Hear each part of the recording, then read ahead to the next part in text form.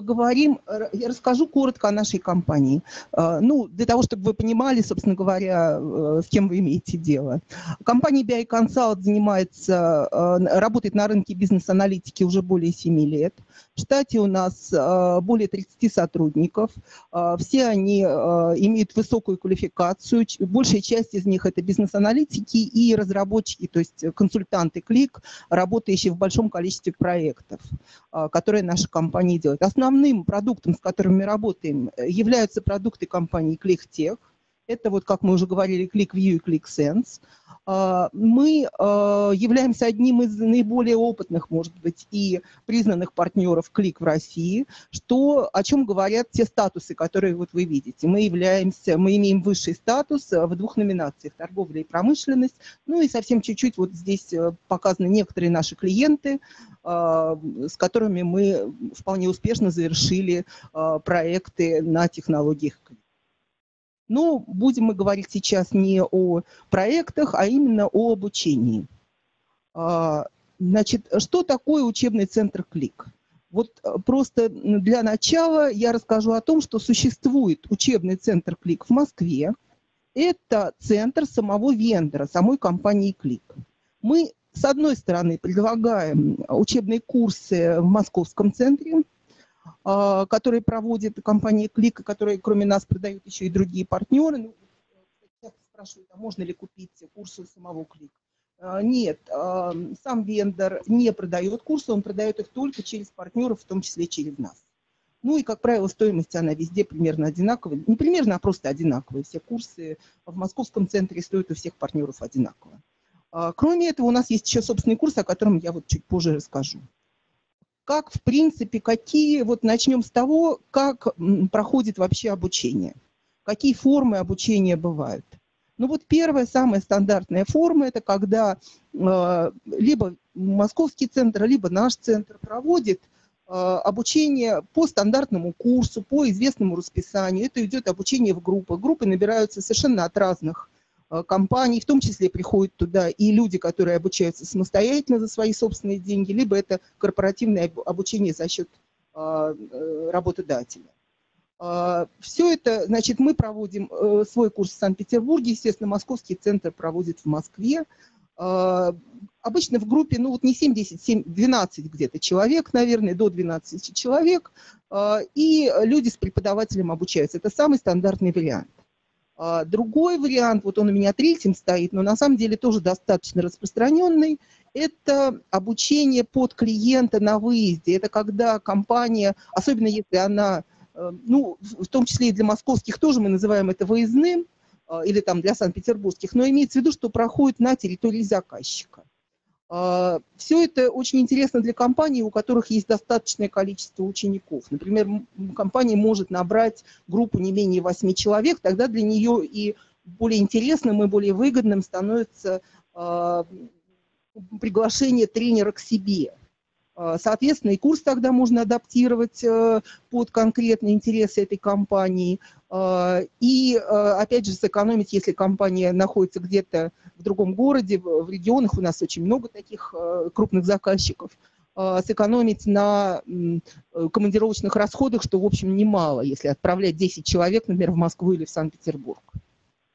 Ну и вот виртуальное обучение, оно на самом деле состоит из двух частей – это может быть как, компании очень часто спрашивают, а можно ли нашу группу обучить виртуально. Мы не рекомендуем такой вариант, когда тренер сидит в Москве и виртуально обучает сотрудников а, компании где-то а, в другом регионе, потому что это гораздо менее эффективно. Все-таки, когда вот преподаватель рядом, он может подойти к каждому, показать, подсказать, это гораздо более интересный вариант. Кроме всего прочего, виртуальное обучение не дешевле выездного за счет того, что достаточно важным является качество связи, а обеспечить высокое качество связи стоит денег. И вот второй вариант виртуального обучения – это так называемые экзотические курсы, а, курсы, которые достаточно э, пользуются небольшим спросом и не проводятся, например, в Московском центре Клик, или мы их не читаем у себя, поскольку ну, не так часто собираются желающие на эти курсы. Но иногда этот курс кому-то необходим, какой-то очень продвинутый курс. И такие курсы есть у компании Клик, она их э, предлагает. К этому курсу можно подключиться виртуально, но здесь надо понимать, что курс, скорее всего, будет на английском языке, и весьма вероятно в не очень удобное время, потому что если, предположим, курс ориентирован в основном на американскую аудиторию, то, сами понимаете, у нас с ними большая разница во времени. Но вот такая возможность есть по виртуальному обучению. Это то, что мы говорили в принципе об обучении – о платном обучении. А теперь вот вопрос э, самостоятельного бесплатного обучения, есть ли такая возможность? Да, конечно, она есть и достаточно широкая. А, сама компания Кликтех предлагает, э, имеет достаточно большое количество ресурсов и материалов, которые позволяют э, вашим сотрудникам обучаться самостоятельно. Особенно это важно э, для тех, кто уже прошел какой-то курс обучения, но хочет развиваться дальше. А, Причем здесь совершенно разнообразные материалы, и начиная с, с тестов, которые вы, могут пройти ваши сотрудники, чтобы понять свой уровень. А, вот есть тест а, у компании Click, а, есть масса учебных материалов, есть, ну вот, предположим, даже я сама, когда пыталась немного научиться тому, как работать в Click, то я нашла громадное количество и разнообразных материалов, и возможность поиска по разным темам, чтобы понять, правильно ты делаешь что-то или нет. Кроме этого, вот на нашем сайте BI Consult я вам очень рекомендую, есть большое количество бесплатных материалов. Другое дело, что э, ну, платное обучение или бесплатное... Слушай, да. В Explorer.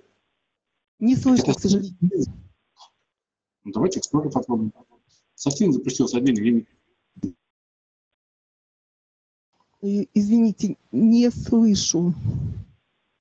Давайте закончим, потом... Э, э, может, вы знаете, вы можете написать вопрос, наверное, Сергей мне его прочтет, если...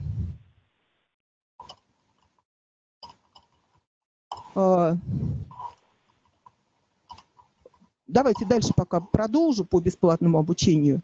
А, то есть вот на сайте BI Consult есть большое количество материалов, которые могут быть полезны. В том числе есть вебинары, а, записанные нами, нашими специалистами, которые помогают изучить какие-то и по ClickSense, и по ClickView и есть и тесты. То есть, но вот я говорю, бесплатное обучение – это, как правило, все-таки либо для, когда человек сам для себя учится, либо для того, чтобы улучшить навык свой.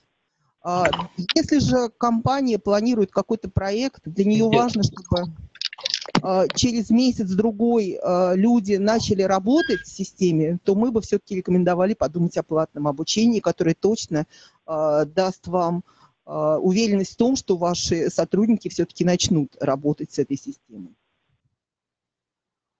Теперь давайте поговорим вот о том, какие, в принципе, кого мы, в принципе, можем обучать. А, ну, вот самый первый слой пользователей – это бизнес-пользователи, это пользователи верхнего уровня, а, которые все-таки работают с готовыми приложениями. И, как правило, если им и нужен курс, то это некий облегченный, может быть, специализированный курс, и вот не на регулярной основе, не в московском центре, не у нас мы такого курса не читаем, хотя мы можем прочитать курс для бизнес-пользователей и также пригласить, предположим, преподавателей из Клик. Э, но это, это все-таки э, немножечко э, отдельный вариант. Как правило, все-таки бизнес-пользователи не требуют обучения такого. А вот Ольга, следует... я пожалуй, дополню э, этот пункт, что обучение для бизнес-пользователей, как правило, достаточно форматов 2-3 часа, то есть это основные функции. Навигация по вкладкам, работа с фильтрами, выгрузка данных, э, может быть, там создание презентаций. Вот, соответственно, мы тем, кто у нас, например, покупает проекты или лицензии, мы такое обучение предоставляем бесплатно в комплекте.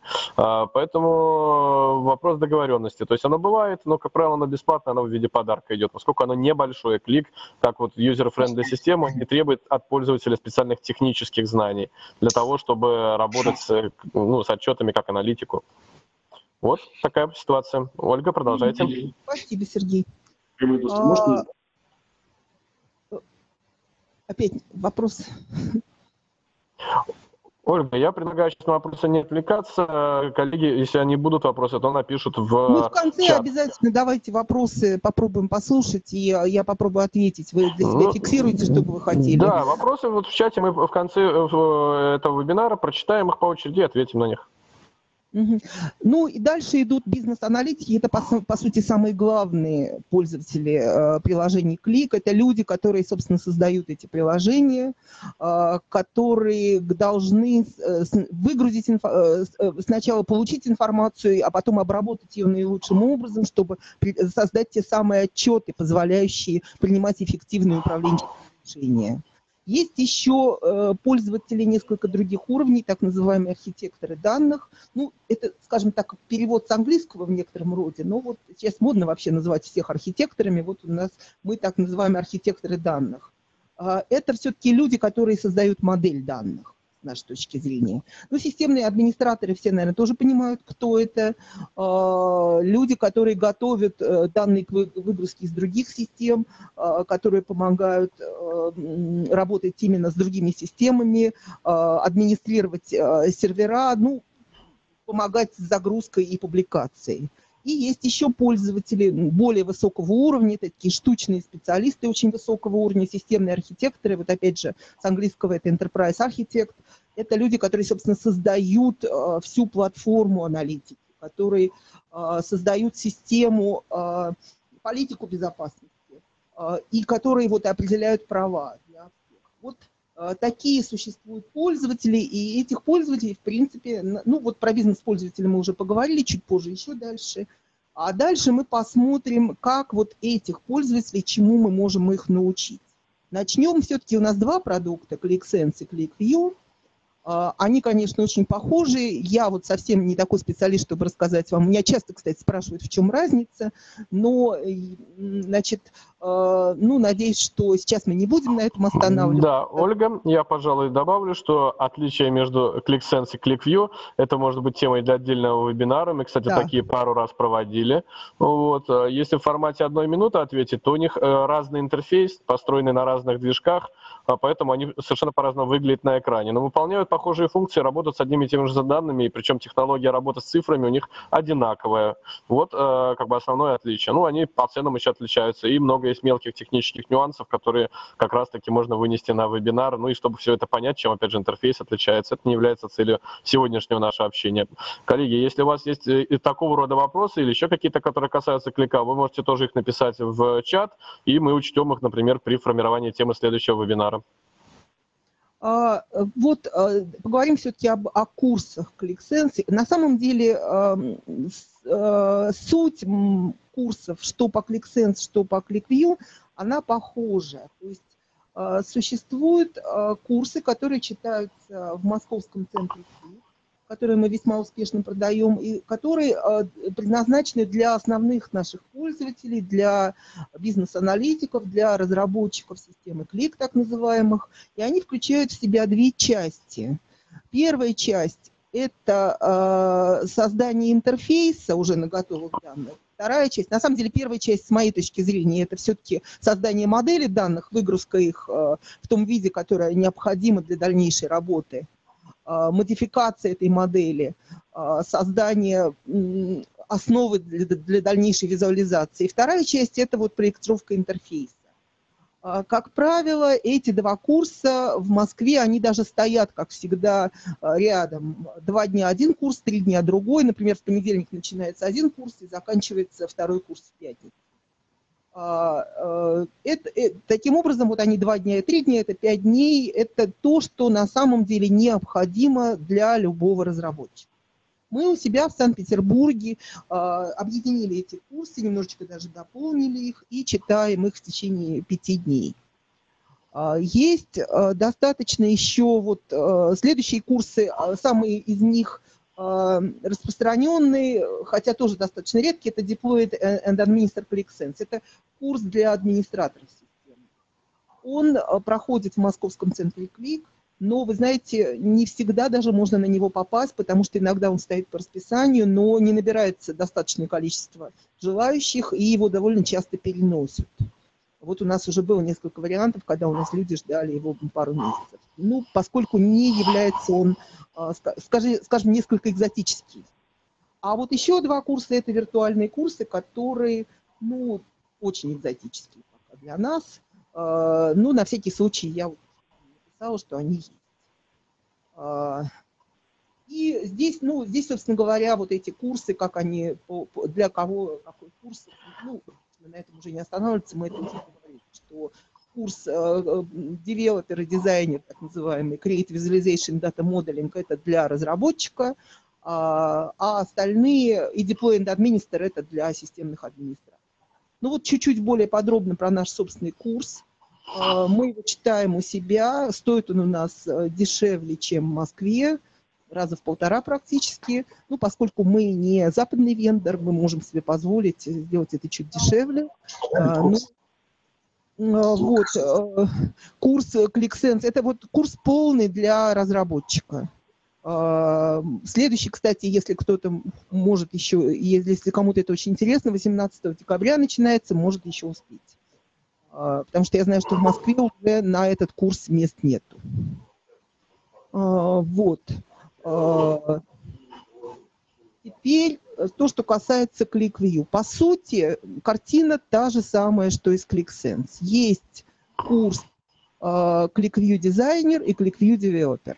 Точно так же э, в московском центре Клик они читаются рядом всегда. Бывает, конечно, иногда, что есть люди, которые хотят только одну часть из них, но это все-таки редко, и мы бы вот со своей точки зрения, с точки зрения опытных уже вот наших разработчиков, они говорят, что, как правило, нужны оба эти курсы, и очень часто бывает так, что человек говорит, мне не нужна визуализация, я уже ее хорошо знаю.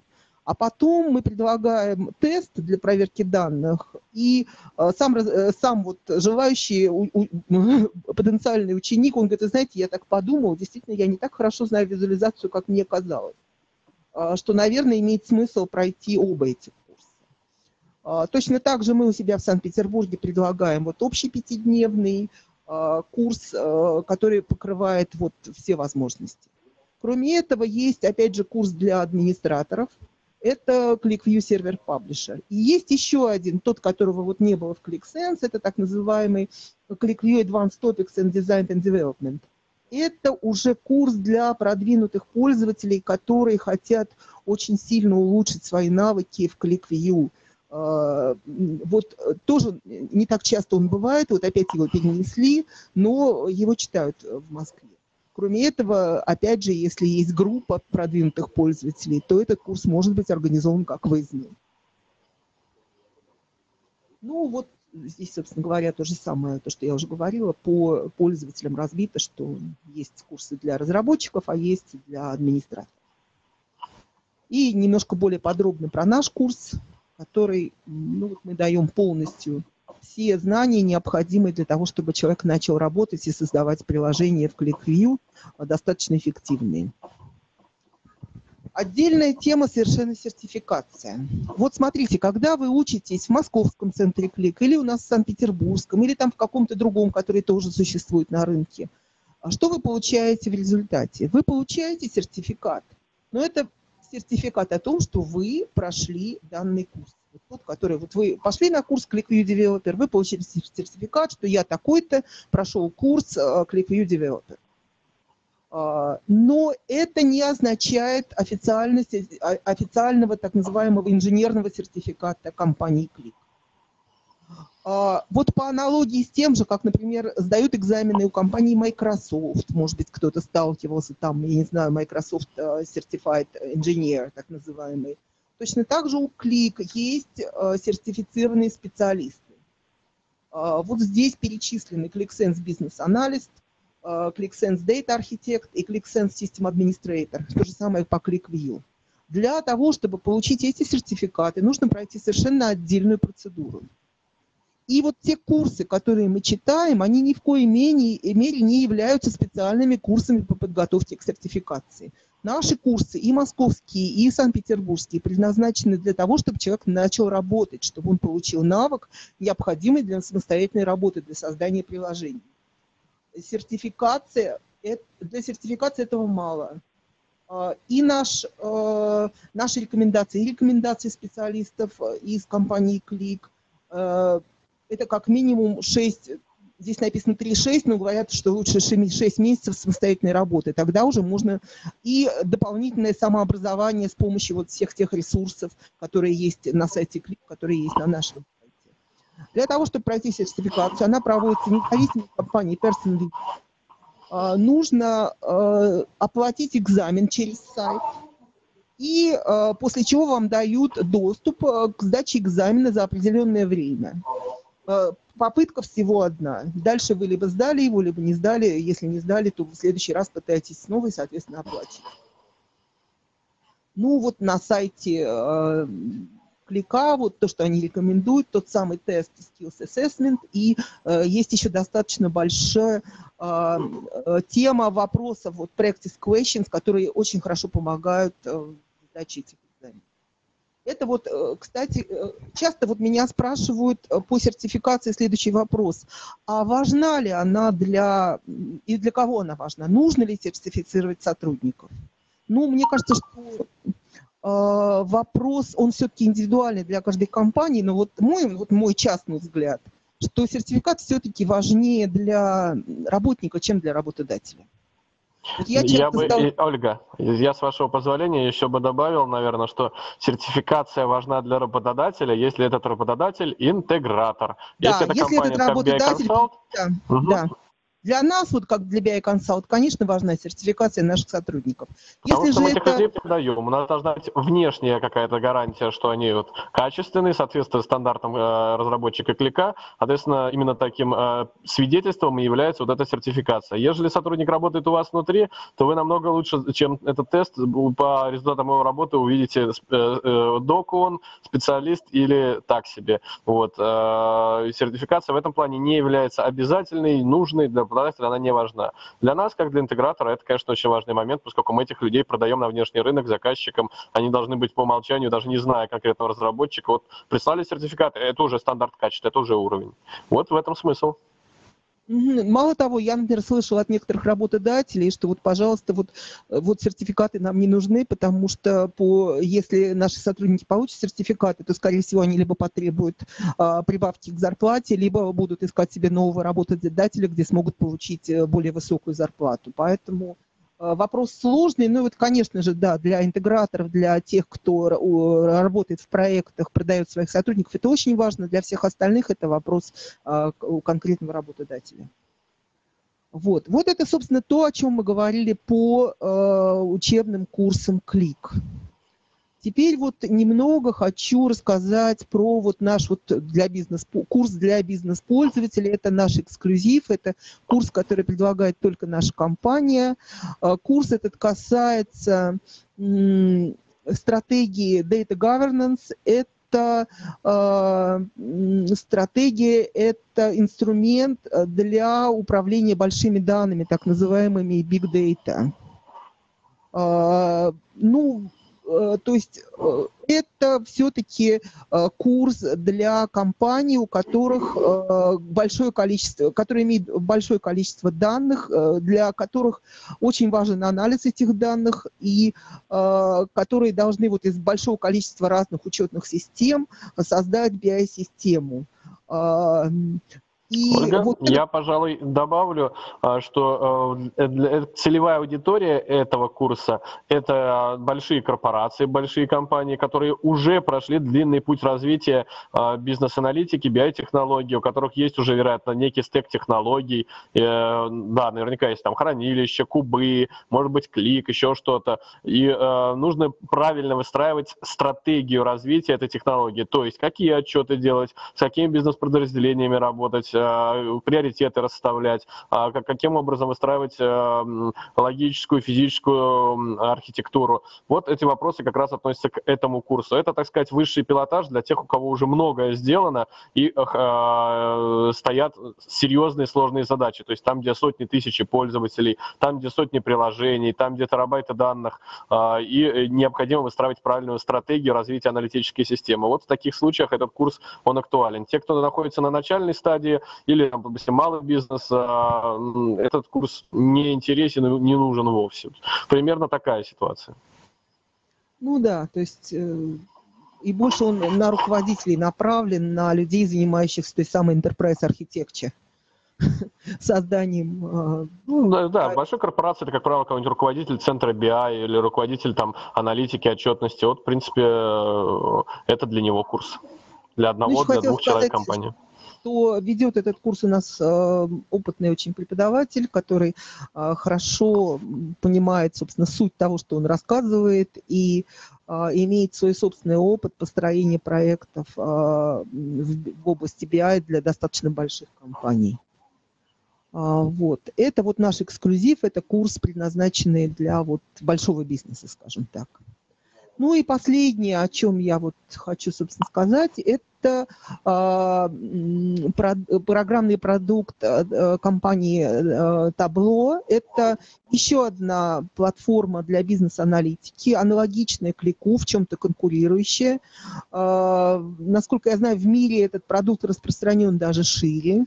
А, ну, у нас в России он тоже сейчас э, достаточно интересен, достаточно многие э, компании а, работают с ним, а вот курсов по нему пока очень мало, так что это в некотором роде наш эксклюзив. Курсы, они у нас э, в двух вариантах. Это introduction, это для начинающих, совсем для тех, кто не работал с системой. И курс advanced, Tableau advanced для тех, все-таки, кто уже имеет определенный опыт работы, но не уверен, что Э, э, их, э, скажем так, анализ наилучшим эффективным образом. Проект работает наиболее эффективным образом. Пока эти курсы мы продаем больше все-таки как выездные. Вот у нас буквально вот вот сейчас на днях, а, вот на следующей неделе преподаватель поедет в один из э, регионов а, к одному очень крупному заказчику. А, это курс такой в некотором роде кастомизированный. Он сначала будет смотреть уже готовый проект. Это будет Tableau Advanced для группы из 10 человек. Но вот набирают они популярность, и мы планируем, что в следующем году мы, вероятно, сделаем эти курсы на регулярной основе в группах, вот аналогично к тому, как мы читаем вот уже по заранее известному расписанию ClickView и ClickSense. А, но вот пока это больше вот еще один тоже крупный заказчик у нас, вот буквально сейчас мы ведем переговоры о том, чтобы а, проводить в Москве обучение для другого заказчика. А, ну вот, э, собственно говоря, это, наверное, пока все, что я хотела сказать. И вот сейчас, в принципе, готова отвечать на вопросы. Да, коллеги, я э, прошу вопросы, если у кого-то возникли, написать сейчас в чат. Он находится в правом нижнем углу экрана. А, и как только мы их увидим, начинаем отвечать. Пока что я вопросов еще не услышал, не увидел. Вот. Напишите, мы и голосом на них ответим.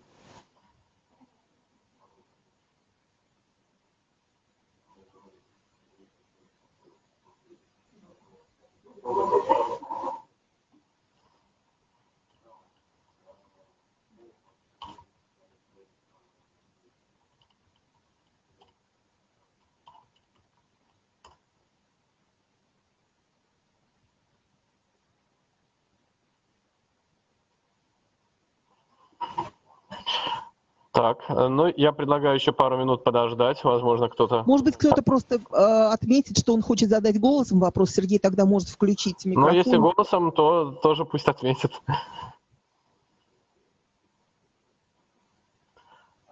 Коллеги, есть еще какие-то темы для обсуждения, которые хотели бы сегодня задать, либо, может быть, для следующего вебинара, что-то не попавшее в сегодняшний наш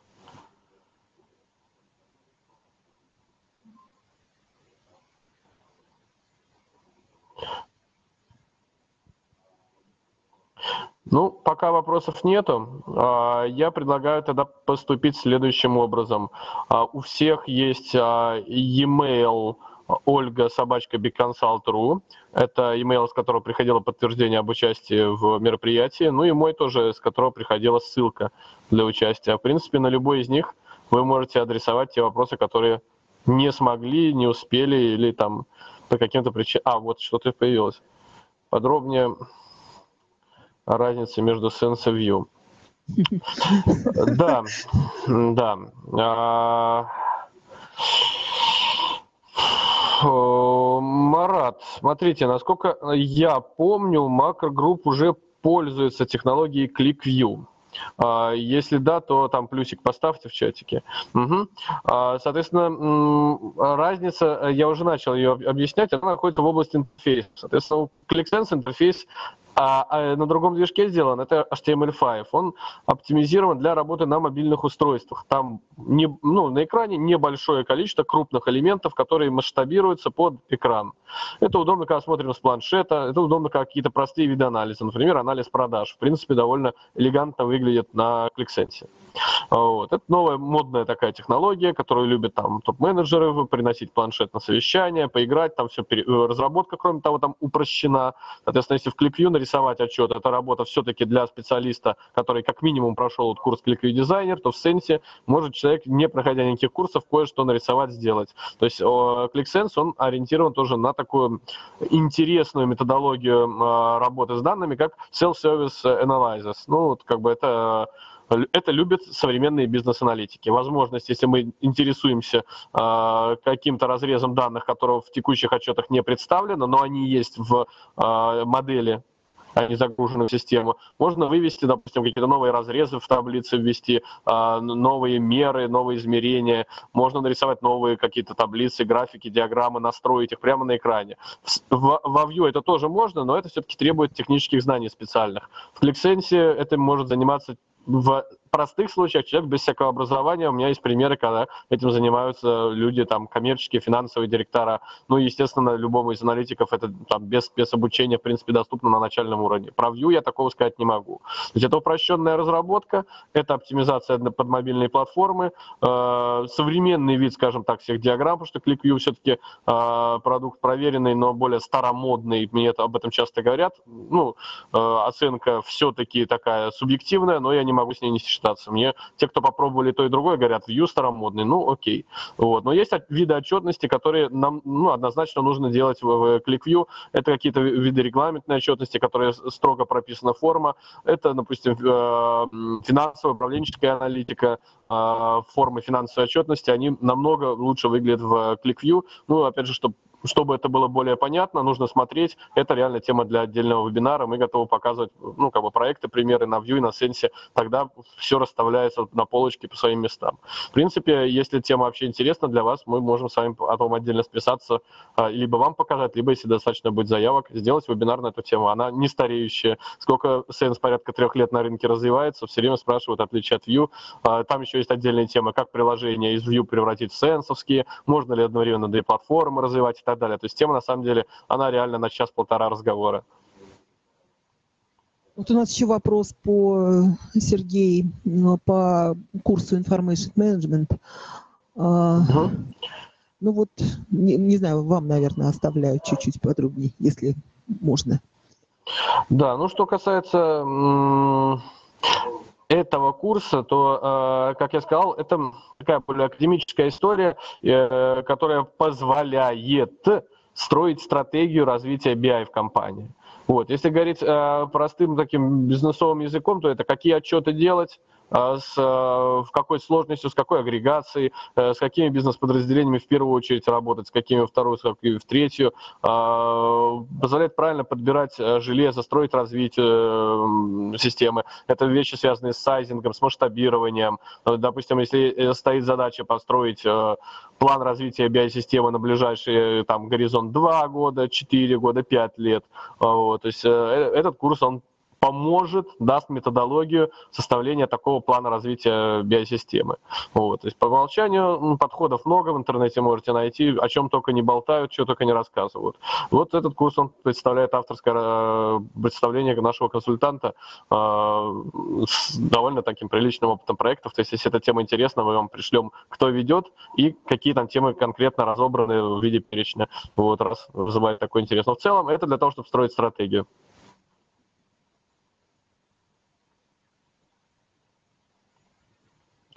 Итак, э, угу. так, это мы тогда ну... отдельно с вами свяжемся и...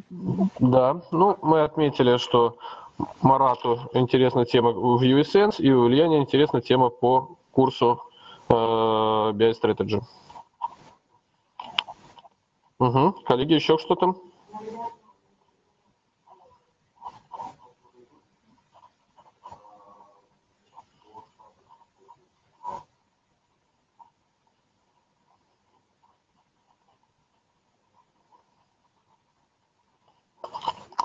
Угу.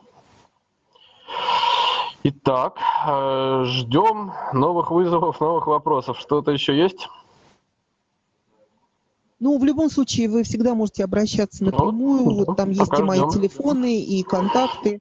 А, вы можете звонить, писать. Пожалуйста, будем очень рады ответить на ваши вопросы.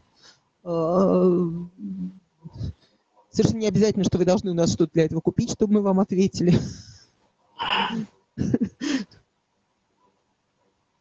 Тем, кто покупает, отвечаем вдвое пространнее. Ну, это шутка, конечно. Это шутка, конечно, да.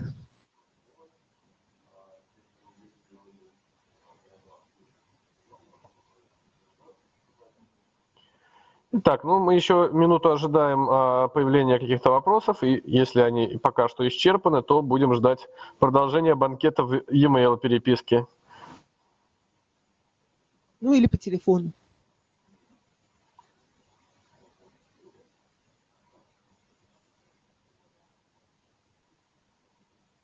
Система поддержки. Так, вижу вопрос Анастасии. Э, система поддержки э, по вопросам или мелким задачам. А, вопрос сложный, потому что... О, обучение на конкретных задачах. Да, а, в принципе ситуация такая. А, многие действительно обращаются и говорят, а мы хотим разрабатывать сами систему и поддерживать сами. А можете ли вы, допустим, э, заниматься поддержкой решения, которое сделал э, наш разработчик, инженер или сделал другой партнер?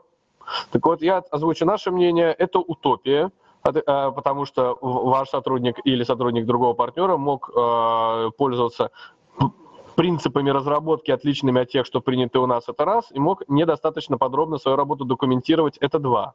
Соответственно, то, что наваял э, другой человек, э, довольно тяжело и бесперспективно разбирать, поддерживать. То есть, э, кто сделал, тот и должен. То есть, если делать BI Consult, проект сдает под ключ, то мы несем в формате SLA некоторые обязательства, мы эту систему поддерживаем. Если вдруг у вас происходят какие-то изменения, например, в системах источниках, то мы можем доработки произвести, подключиться к новому источнику. Если у вас, допустим, какой-то отчет слетел после выхода новой версии клика, окей, это, это вариант поддержки, мы приходим, помогаем. Это касается того, что разработал BI Consult. Вот. Если эта история из серии а, мы сами все делаем, но нам нужен человек, э, которому мы раз в месяц хотим задать вопрос, а, то это намного сложнее. Вот, потому что, э, чтобы ответить на этот вопрос, который вы один раз в месяц зададите, э, возможно, нашему специалисту придется несколько часов лазать вместе с вами на удаленном доступе или вживую, разбираться, что же там творится и так далее. Э, то есть, э, если эта история реально раз в месяц позвать задать вопрос, лучше развивать э, центр компетенции кликовский внутри компании. И, как правило, первым шагом к созданию этого центра компетенции как раз являются те курсы, стандартные, базовые, про которые мы говорили. То есть сначала мы проходим визуализацию и создание модели данных, потом при необходимости для некоторых мы проводим курс по э, расширенной Advanced Topics э, и э, для э, системного администратора, естественно, сисадминские курсы. После этого 90% вопросов, которые хотелось бы вот э, спонтанно задавать, они уже не возникают, они решаются внутри компании. А те оставшиеся 10, ну, э, это тема ну, для разговора. То есть если это все-таки нечто часто возникающее в достаточном объеме часов, то мы можем заключить договор на поддержку такого решения, но это как бы, это уже коммерческая история, это нужно общаться. Она не типовая. То есть я честно скажу, что отлаженная система поддержки BI – это кто создал, тот и поддерживает. А, учить на примерах это можно, но исключительно после того, как пройдено базовое обучение. Вот, э, то есть э, после того, как пройден э, дизайнер, после того, как пройден девелопер, после того, как пройден Advanced Topics, и после накопления определенного опыта, как правило, он там порядка полугода или года, в зависимости от интенсивности работы и сложности отчетов, уже можно тогда действительно некий collaboration делать ваших и наших разработчиков. Но эта история штучная, она редкая реально. Можно я еще добавлю, что когда наш э, преподаватель ведет обучение вот по стандартному курсу, то э, там есть такая опция, как э, изучение кейсов, ну, небольших, понятно, учебных кейсов, а, конкретных а, на используемых а, у наших учеников. Да, Кроме я, в принципе, если... могу на этот счет добавить, Ольга, что если мы делаем под какую-то группу обучения Выездное, по одному да, стандартных обучение. курсов, то мы можем в, ну, в небольших рамках дополнить его разбором тех кейсов, которые используют. Допустим, если мы едем в банк, то мы, естественно, обучаем на, на стандартных каких-то примерах, но при этом мы в, э, добавим несколько примеров, ну, допустим, с а, анализом клиентской базы банка. Вот. Это, ну, это можно обсуждать. Это нормальная тема.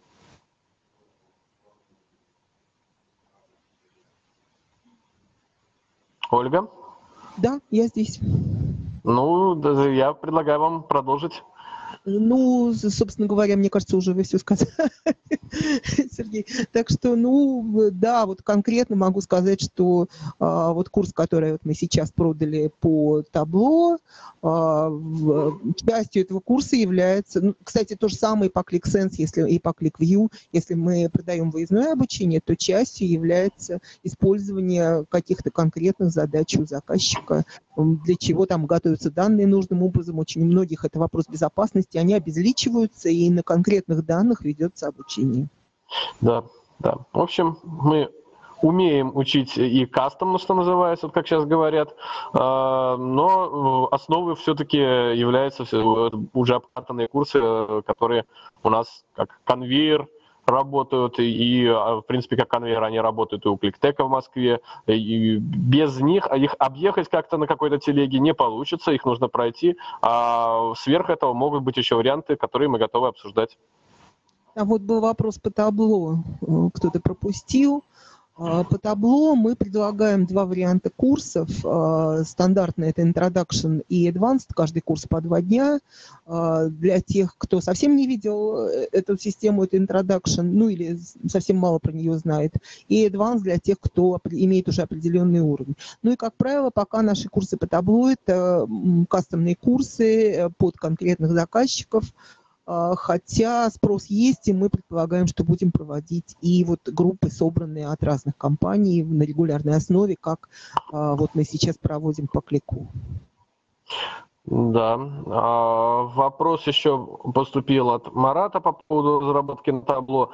Если вкратце, опыт есть, но он не сопоставимый с тем, что у нас есть по клику. Ну и, в принципе, это коррелирует в целом с ситуацией в России, с количеством проектов. То есть у клика их тысячи буквально ну, про табло такого сказать невозможно, это десятки.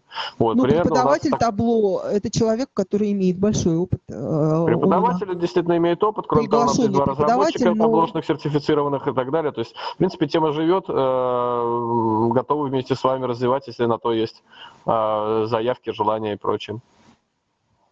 Преподаватель – это один из самых, скажем, титулованных, может быть, разработчиков табло в России, который имеет действительно большой опыт и ведет собственный большой проект внутри э, одной из компаний. Угу. В чем отличие табло от ClickSense? Да, это, эта тема реально для а, как минимум вебинара более длинного, чем наш сегодняшний, в два раза, я бы сказал. То есть, если вас э, интересует, если вы где-то на этапе выбора системы находитесь, а, то будет правильно нам индивидуально связаться с вами и пообщаться, вот, потому что ну, оба этих инструмента имеют право на жизнь, и выбор идет каждый, у каждой компании в зависимости от задач бизнеса, от э, архитектуры айтишной и так далее. То есть там очень много факторов, и это в формате нескольких минут рассказать э, без соответствующих примеров, слайдов и так далее нереально. В целом и то, и другое биосистема, но работают они по-разному, э, по-разному что тут еще сказать. Ну, в том формате, который у нас сегодня, я, к сожалению, не э, смогу внести вам в голову э, отличие табло оценцев в таком виде, в каком они должны быть, например, для принятия решения о целевом инструменте в большой компании. Это реально тема для отдельного вебинара, на мой взгляд. И если вам он интересен, то оставьте, пожалуйста, э, свои контакты, ну, пришлите мне по окончании этого вебинара мне на e-mail. Вот, мы с вами договоримся, пообщаемся, покажем вам, как выглядит табло в работе, сенс в работе э, и расскажем, кто ими пользуется и как. По поводу того, что нужно ли табло, если есть уже клик, ну, можно также задать вопрос, а нужно ли нам э, Microsoft BI, э, Power BI, если есть уже клик. Ну, вообще, на самом деле, э, история тоже из, из, из той же серии И. Вот. Что касается табло, если есть клик, обычное, обычно не требуется, но у меня перед глазами есть примеры компаний, которые пользуются обоими инструментами, обоими платформами. Если в формате 30 секунд сказать, то клик это в большей степени такой Enterprise BI, которым пользуются руководители топ-менеджмент, middle менеджмент, рядовые сотрудники, а, аналитики, айтишники и так далее. То есть очень большой стек сотрудников задач.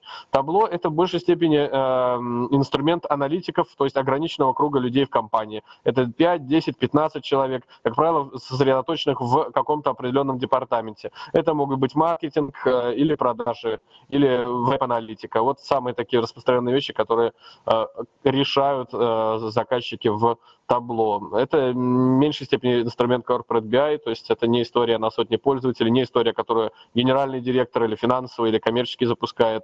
Хотя бывают обратные примеры, нет правил без исключений. Это очень как бы упрощенно, я сейчас объяснил, это реально тема для отдельного вебинара, для отдельного общения.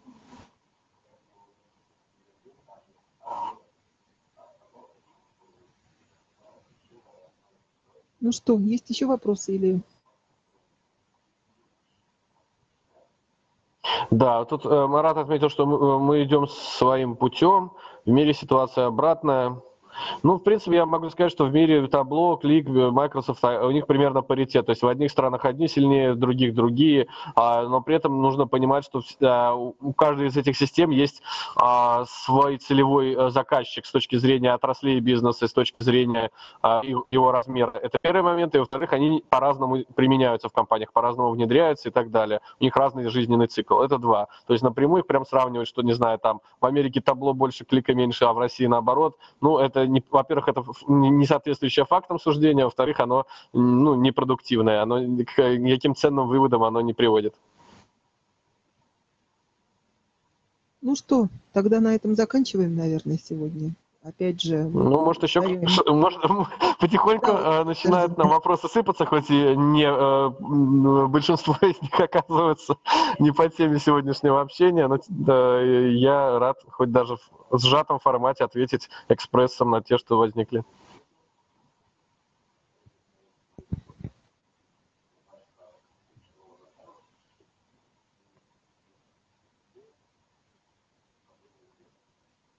Вот я смотрю, что даже Марат.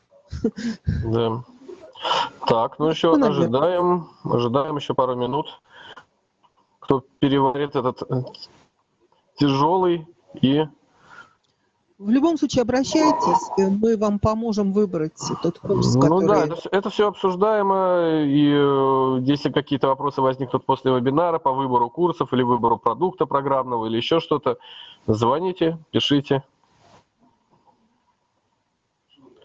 Пока еще подождем пару минут. У кого, возможно, вопрос озарит в онлайн-режиме.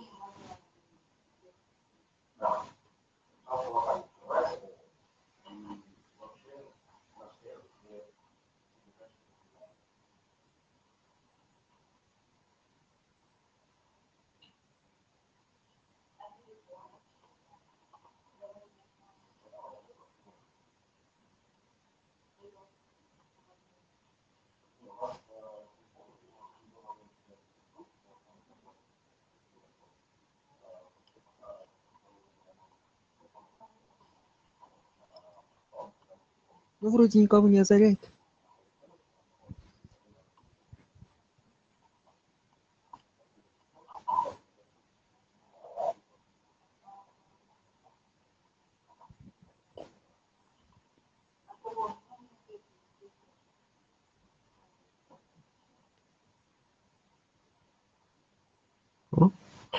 Ну, судя по наступившему затишью, э, большинство участников э, уже спешат отправиться на пропущенный обед, поэтому, э, пожалуй, составим им компанию. Спасибо всем большое за то, что присоединились к нашему вебинару. Да, спасибо за участие. И э, будем рады услышать предложения по темам новых э, вебинаров или как что-то индивидуально с вами разобрать. Пишите письма. До свидания. До свидания.